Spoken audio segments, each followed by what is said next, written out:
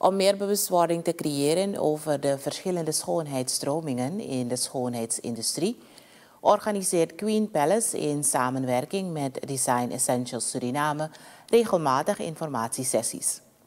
Het is de bedoeling om door middel van onder andere schoolbezoeken de nodige informatie over de verschillende haartypen te verspreiden.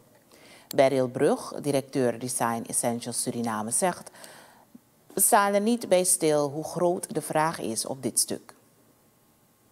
Het was heel verrassend om te zien hoe geïnteresseerd uh, ze zijn in banen in de beautybranche. Ik denk dat ik uh, zeker met de peiling die ik heb gehouden mag stellen dat er een een derde geïnteresseerd is in functies in de beautybranche.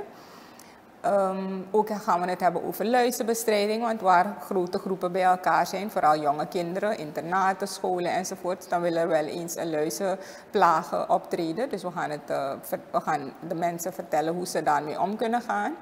We zijn ook de kinderhuizen gaan bezoeken, want ook daar heb je vaak uh, luizenplagen. Tenminste, één kinderhuis is er hier op Lelydorp aan de Van Hattenweg. Die hebben we ook uitgenodigd. De kinderen in het tehuis die krijgen een gratis uh, beauty treatment.